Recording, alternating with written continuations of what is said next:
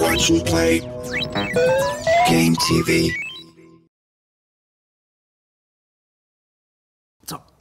Läuft's, glaub. Ja, hä?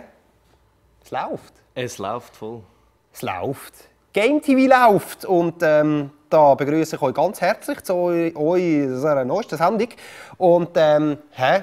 sind wir endlich wieder da bei uns, gell? Vertrautes Studio. Vertraut nicht mehr da in Barcelona, wo man äh, krank wird vor lauter äh, Klimaanlagen. Also ich zumindest. Aber das ist ja egal, weil da bei uns ist ja der Frühling auch erst so in den Startlöchern. Und ähm, wie auch immer, wir wollen ja nicht Frühling zelebrieren, sondern was machen? Neue, ge geile Games vorstellen. Genau, neue Games und vor allem geile Games euch vorstellen. Und da haben wir uns heute wieder mal zwei ausgesucht, ähm, wo sich definitiv gewaschen haben, wenn es nach unserer Meinung geht, oder? Ja, aber so richtig. Joe, wobei deine Meinung zählt ja gemeinhin. Ich ist egal. Ja, ist gut. Äh, Kann mich auch leicht verkälten, weißt was willst du? Ah, so, okay. Ja, immerhin darfst du mitreden, manchmal. äh, anyway, ja, zwei tolle Spiele, wobei eins ganz aktuell und neu erhältlich und das zweite ein kleiner Blick in die Zukunft, weil wir haben ja in diesen Wochen und Tagen schon angefangen, äh, noch aktueller sein als zum Beispiel die E3, eine der wichtigsten Game-Messen, die äh, im Mitte Juni stattfindet. Gell? Wir sind schneller. Wir sind immer schneller. Genau, und fangen äh, jetzt schon an, euch ein paar äh, Previews und Interviews zu zeigen zu Titeln, die im Herbst dann rauskommen. Und äh, zwar aus einem einfachen Grund, weil sonst nur Humbug erhältlich ist. Meinst Nein, ich weiß es nicht. Aber wir machen euch lustig. Ähm, aber äh, zum Anfangen, oder respektive der Titel, der aktuell ist, das sehen ihr auch schon bei unseren zwei Plastikkollegen, ähm, wo extra von. Wie heißt der Planet? du? Lost Planet. Ja, das Game, aber der Keine Planet, Ahnung. weißt du es nicht mehr? Äh, irgendetwas Dingsbums Planet. 5. Ne, ja, super kannst du Englisch übersetzen. Das ist schon ganz grauenhaft. Auf jeden Fall, die zwei Plastikfiguren da, die haben es schon mal im Bild. Äh, und das äh, weist nicht nur auf ein Game hin, wo wir heute äh, euch zeigen, sondern auch auf unsere grosse Wettbewerb. Ganz genau. Wir äh, präsentieren euch heute einen Wettbewerb und ein grosses Review zu Prince of Persia.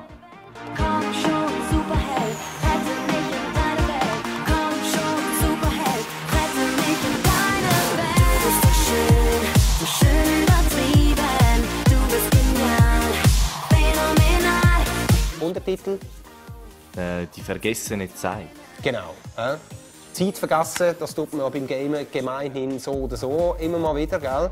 Sowieso. Und äh, darum passt ja das Ganze auch ziemlich gut. Also Prince of Persia, The Lost Time zu Englisch. Und dann schauen wir, wie gesagt, noch ein bisschen in die Zukunft. Und zwar nicht nur, was der Release von dem Game, wo wir euch präsentieren, angeht, sondern auch, was die Handlung von dem Game betrifft. Und zwar ziemlich weit in die Zukunft. Wir begeben uns nach New York, wo schön bewachsen ist, absolut abgekommen, kein Mensch mehr rum, außer zwei, gell? Ja, der Monkey. Der Monkey und Trip.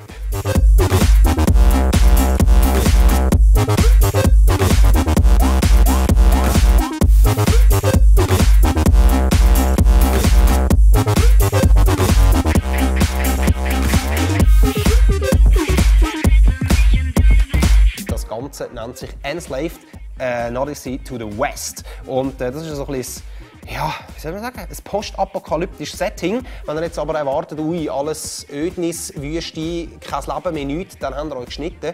Weil äh, dort sieht es ein bisschen anders aus und äh, das Zukunftsbild, das da gemalt wird, ist zumindest für die Erde gar nicht so schlecht, oder? Sieht gut aus. Genau, weil wenn es die Menschen nicht mehr gibt, gibt es auch keine Umweltzerstörungen mehr. Äh, Sex ist well, ich will das gar nicht vorwegnehmen, um was es da genau geht, sondern da lassen wir den Tamim Antoniades äh, zu Wort kommen. Und äh, der war auch schon verantwortlich gewesen, unter anderem äh, für Heavenly Sword und die bringen eben das Spiel raus, äh, die Entwickler von Ninja Theory. Und was uns da genau erwartet, das erzählt uns jetzt eben der Tamim.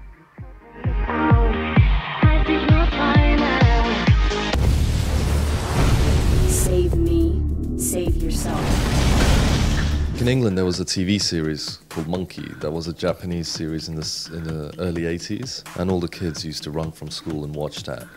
And I had no idea that it was based on a 400 year old Chinese book called Journey to the West until I was doing research for Heavenly Sword.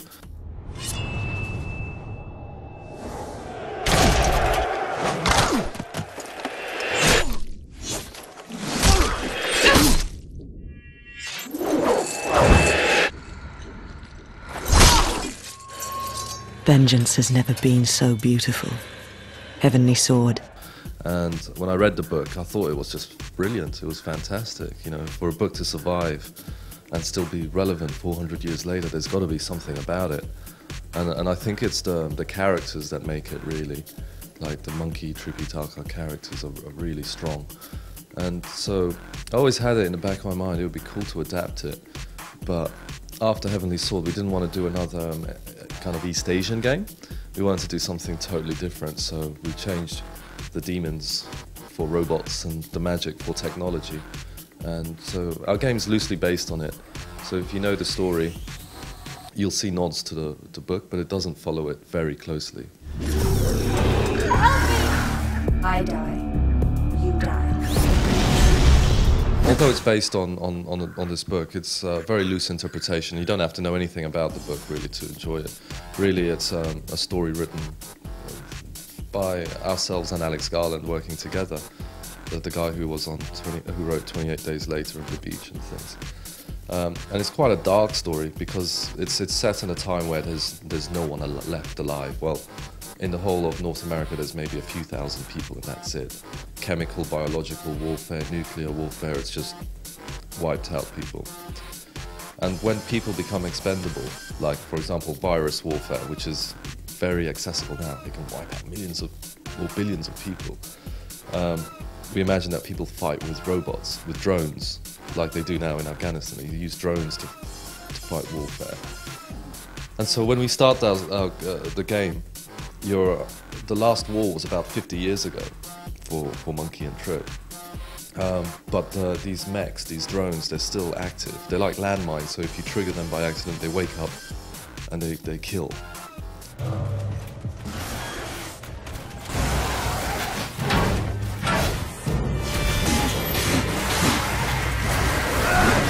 What's worse is there's these slave ships that roam the lands and they pick up people and they take them out west. And they, um, they put slave headbands on these people to control them through pain.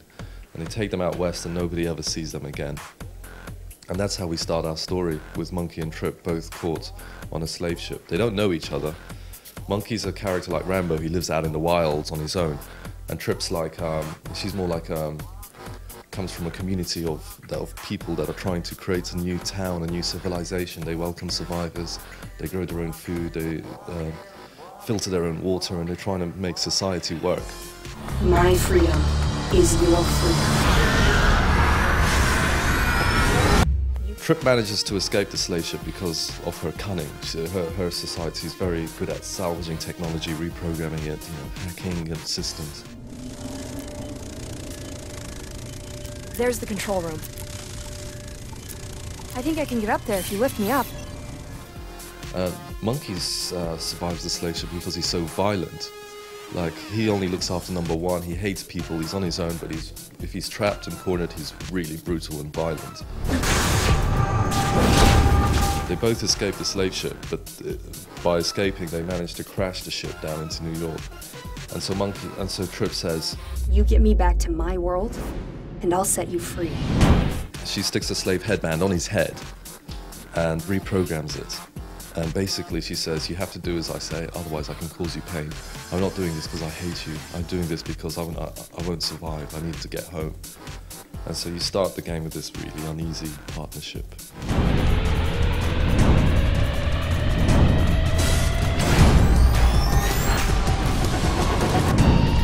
As the game goes on, you see their, their story develop, their, their characters develop, and their, the, their journey is also a, an internal journey. And then gameplay-wise, it's it means you've got to use your brain as well as your your fighting skills because it's so- it's all very cool to go in as monkey and smash and pummel and rip heads off robots and things. but you've got to figure out how to get this character trip across to safety. And so then it starts to require strategy and thinking. And that was really the goal of the game.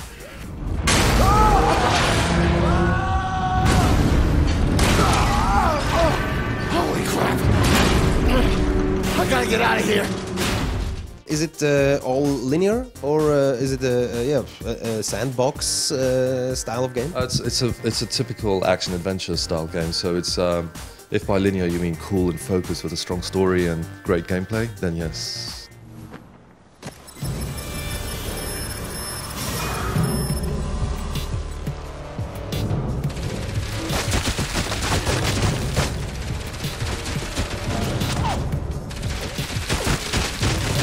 It's not co-op because uh, Monkey does, has all the fun. Like you play as Monkey, we don't want to break the perspective, so you go on the journey with that character. Monkey's right there, it's coming! Shut up, come on! Oh, it's getting closer, Monkey, it's getting closer! It's okay! Monkey, run! Ah! Ah! Oh, faster, faster! Ah! Shit! Ah! Oh, it's still coming! Watch out! and uh, Trip can't fight. She can s- survey situations and scan robots and find weak points uh, in robots. Oh, you'll need to clear the mechs before we can climb. For monkeys to then go in, smash them up, rip them apart, and do whatever you know, do the good stuff he has to. So in that sense, it doesn't really work as a co-op game.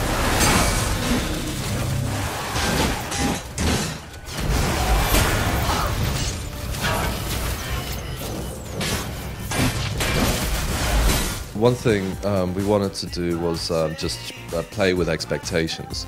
So you expect, everyone expects that when mankind dies, the world dies with us, and the opposite is true. I think it's in a way it's sadder to see that the world has, like all the all the plants and flowers have reclaimed, nature has reclaimed our cities, our civilizations lies in ruins, but actually the world is in recovery, and it kind of makes you think, well, what are we to the world in a, in a sad kind of way? Maybe we're a bit arrogant as a species.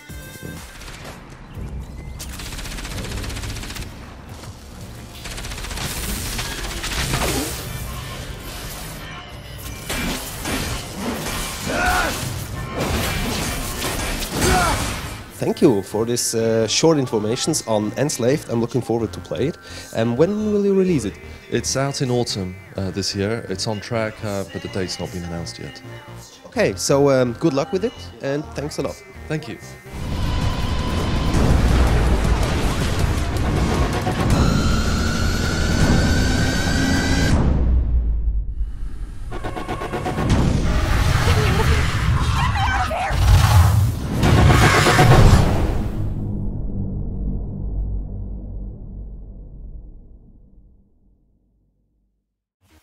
Noch cool gefunden eigentlich, Ja, oder? ist es auch, ja. Doch. Enslaved, A Journey to... Nein, das ist eben das Buch, siehst du? Hä?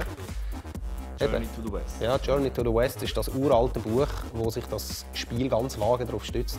Also, Enslaved, äh, Odyssey to the West, äh, ein Spiel, das wie gesagt im Herbst erhältlich sein wird. Und äh, ich freue mich darauf, es sieht wirklich vielversprechend aus. So, jetzt machen wir weiter mit etwas, das erhältlich ist, seit ein paar wenigen Tagen. Und äh, ja, kann man doch schon behaupten, ähm, einer der grossen Titel äh, von Ubisoft. Und äh, da kommt jetzt nicht nur das Game raus, sondern auch noch ein Film, gell? Genau. Unglaublich, ein Game mehr, das verfilmt wird.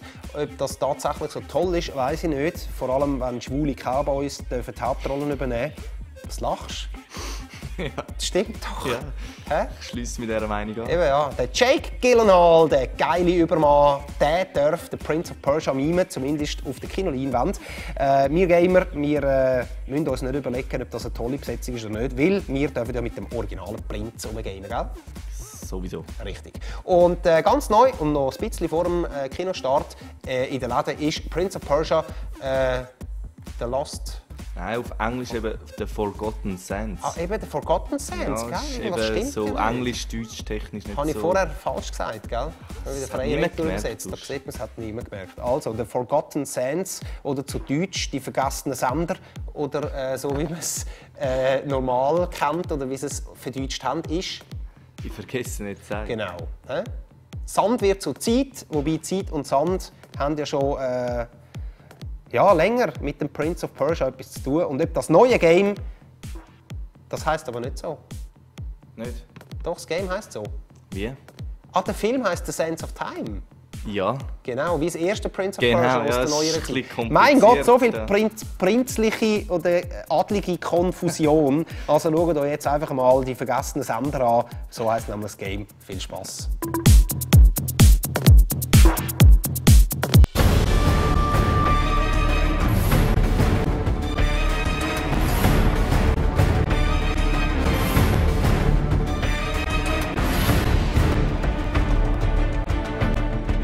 Noch vor seinem Leinwanddebüt springt, klettert und kämpft sich der persische Prinz durch ein weiteres Game-Abenteuer. Prince of Persia, die vergessene Zeit, spielt zeitlich zwischen den Titeln Sense of Time und Warrior Within und widmet sich den sieben verlorenen Jahren zwischen diesen zwei Ablegern.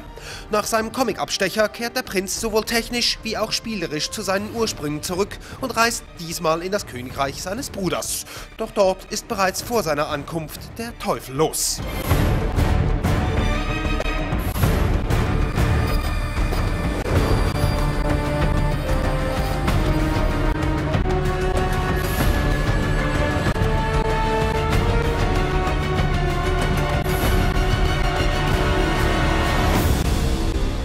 Eine mächtige Armee stürmt den königlichen Palast von Bruder Malik und dessen Soldaten fallen wie Dominosteine.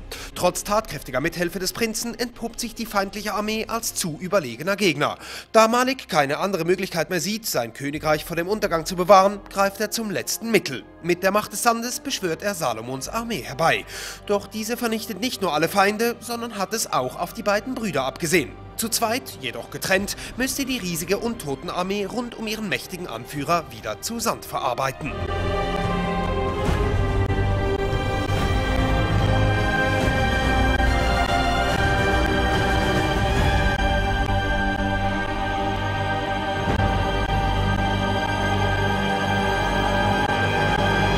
Zunächst müsst ihr einen Weg aus dem Palast finden, um euch wieder mit Malik zu vereinen. In gewohnter Manier springt ihr über Abgründe, lauft Wände entlang und empor oder schwingt euch von einer Stange zur nächsten. Zwischendurch werdet ihr dabei immer wieder von skelettartigen Kreaturen angegriffen, die ihr mit eurem Säbel bearbeiten dürft. Die Schwertkämpfe sind sehr dynamisch und werden durch coole Moves ergänzt, die vor allem bei Angriffen aus der Luft zum Zuge kommen. Zudem könnt ihr eure Gegner mit den Beinen wegstoßen und mit Rollen ihren Attacken ausweichen.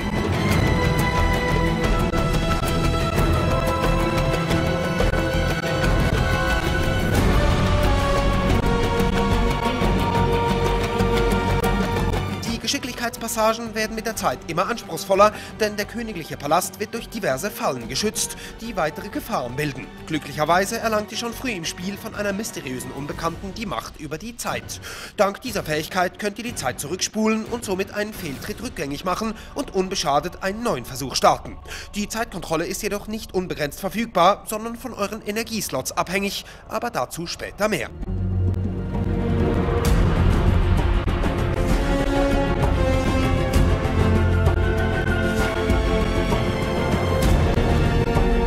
Nachdem ihr die zusätzliche Macht erlangt, die Zeit um euch herum für eine kurze Dauer anzuhalten, werden die zahlreichen Klettereinlagen noch spannender. Fließendes Wasser kann dann in einen festen Zustand umgewandelt und als Hilfsmittel für eure akrobatischen Einlagen genutzt werden. Somit werden auch die anfangs recht simplen Rätselaufgaben schwerer zu lösen, denn das anfängliche Hebelverschieben wird durch wesentlich komplexere Aufgaben erweitert, in denen ihr die besonderen Fähigkeiten mit dem richtigen Timing einsetzen müsst. Zu ihnen zählt auch ein übernatürlicher Sprung, der erst später im Spiel folgt.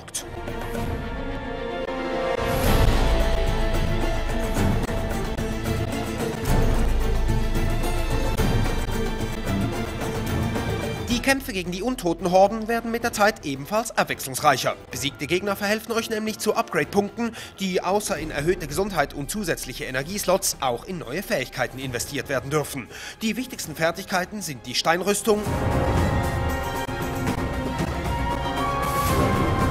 Flammenspur,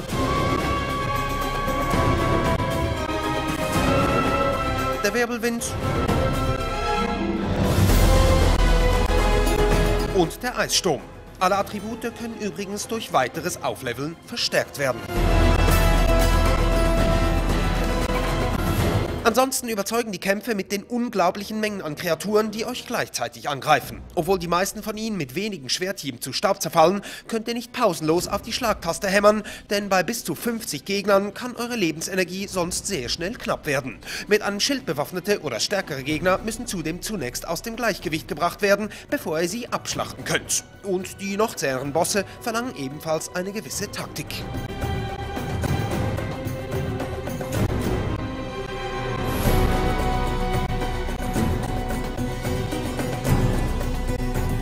Die Levels, durch die ihr euch meistens kletternd und springend bewegt, sind sehr ansprechend gelungen. Während ihr euch einen Weg durch die Gänge und Räume des Palastes bahnt, stürzen immer wieder Böden und Wände um euch herum ein. Einige Zerstörungen gingen dabei auf das Konto des zornigen Armeeführers, dem ihr zumindest vorerst stets aus dem Wege gehen müsst. Damit ihr in den oft mehrstöckigen Arealen nicht die Übersicht verliert, liefert euch jeweils eine dynamische Kamerafahrt Hinweise. Danach passt sich die Perspektive dem Weg an, indem sie beispielsweise von einer Seiten in die Vogelansicht wechselt.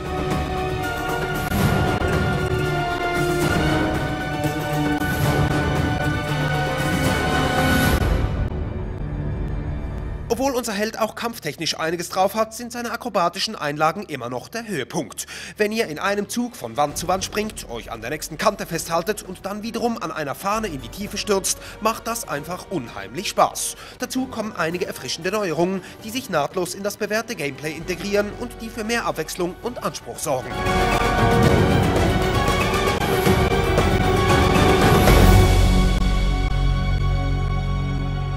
Klettern, Rätsel lösen und kämpfen. Die drei Zutaten, die dem persischen Prinzen in der Vergangenheit den Thron gesichert haben, sind nun wieder würdig vertreten. Die vergessene Zeit ist somit das nächste gelungene Prince of Persia Kapitel und nicht nur für richtige Fans einen Kauf wert. Denn das Spiel ist nicht nur sehr unterhaltsam, sondern fordert ab und zu auch ein bisschen eure Hirnzellen, was durchaus motivierend ist. Der Prinz aus Persien ist nun endgültig im Next-Gen-Zeitalter angekommen.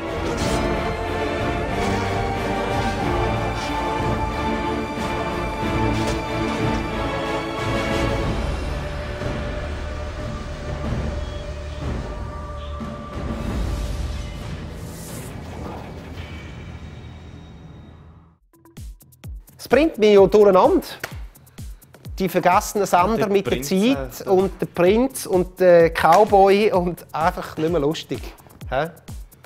Tja, so ist es. Wenn ihr jetzt überhaupt nicht mehr rausgekommen sind, welchen Prince of Persia man jetzt im Kino sieht und welchen Prinz man gamen darf, tja, dann informiert euch doch auf startv.ch gametv. Dort seht ihr alles nochmal. Da könnt ihr, auch, könnt ihr auch nochmal alles das anschauen, was ich jetzt falsch erzählt habe, zum schwulen Cowboy und einem tollen Prinz. Und so, Ja, voll. gell? Gibt es noch einen Wettbewerb.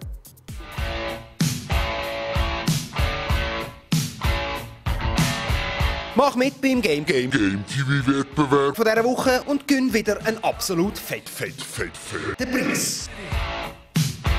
Wir verlosen jetzt nämlich exklusiv Ein ultimativ fettes Prince of Persia Fanpaket bestehend aus zwei Kinotickets für den neuen Film mit dem homosexuellen Kau... Äh, sorry, für den neuen Prince of Persia Film The Sands of Time. Einem Xbox 360 Game Prince of Persia The Forgotten Sands, einer Tasche, einer Cap und einem T-Shirt. Natürlich auch alles von Prince of Persia.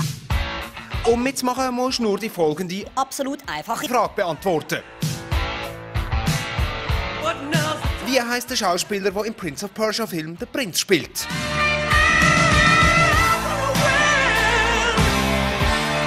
A. Colt Sievers, B. Jake Gyllenhaal.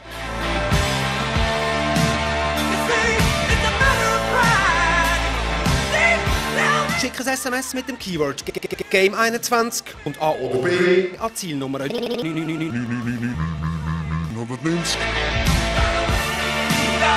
Und mit ein bisschen Glück kannst du schon bald ins Kino gehen, den neuen Prince of Persia Film schauen und anschliessend die heiß neue Game vom persischen Prinz zocken. Und das alles im Style vom, du weißt schon von wem. G- G- Game TV wünscht dir viel, viel, viel, viel, viel Glück.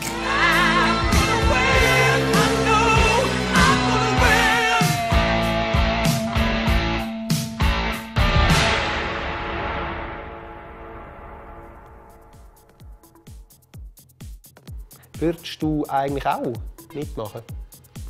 Ja, hey, musst ja fast, oder? Schon, Bei äh? diesen Preisen. Bei diesen Preisen würde ich schon auch. Kino gehen, mit dem Originalhütli vom Prinz, mit dem T-Shirt, das 9 könnt ihr hier reinpacken. Was will man mehr? Nichts. Hä? Voll ausgerüstet. Und auch noch Game. Wenn der Film, zu, lang, ja. der Film zu langweilig ist und der Jake wirklich nicht so Gas gibt, dann könnt ihr in der Pause eingehen und das Spiel spielen. Also ich wünsche euch viel Glück bei dem Wettbewerb und äh, mit diesen Worten und Bildern wäre es wie immer für die Woche. Wir sehen uns in einer Woche wieder. Ja, einen schönen zusammen. Ja, genau. Macht's gut. Mhm. Du auch. Danke. Ja. Bis nächste Woche. Ja, genau.